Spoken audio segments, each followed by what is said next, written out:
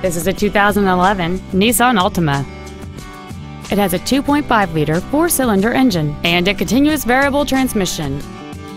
All of the following features are included. A multi-link rear suspension, a low tire pressure indicator, traction control and stability control systems, a CD player, an engine immobilizer theft deterrent system, a passenger side vanity mirror, 12-volt power outlets, rear impact crumple zones, air conditioning, and this vehicle has fewer than 35,000 miles on the odometer. This Nissan has had only one owner and it qualifies for the Carfax buyback guarantee. Stop by today and test drive this vehicle for yourself.